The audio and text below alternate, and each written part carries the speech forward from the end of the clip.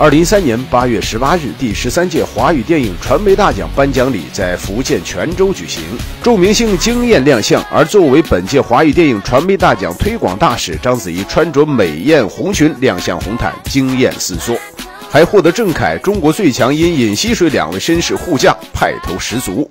而章子怡活动现场与身边嘉宾搞怪热聊，十分兴奋活跃。